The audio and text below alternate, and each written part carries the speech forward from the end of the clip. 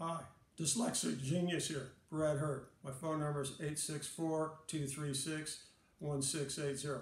Now that we've done the tune-up on the diamond disc and the horn and oil and greased it, I have to show you something on this old reproducer here.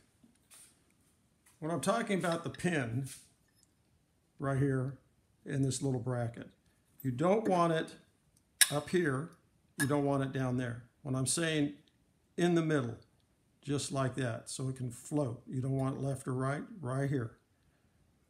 Okay?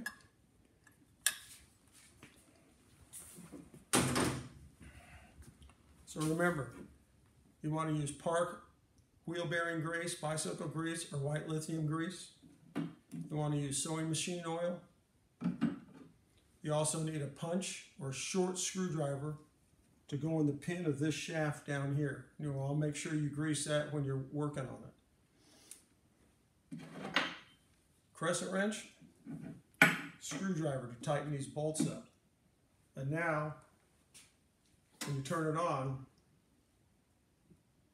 like Edison said, they're supposed to be silent, and this one is after a little tune-up.